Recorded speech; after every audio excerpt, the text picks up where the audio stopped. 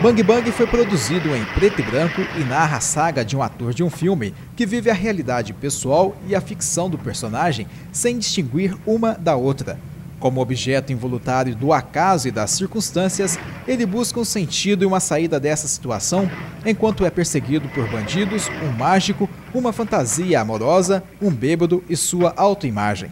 A comodicidade, os motivos da perseguição, as situações, os personagens, a cenografia, os diálogos e a trilha sonora remetem a símbolos, metáforas e a recusa de uma possível lógica narrativa.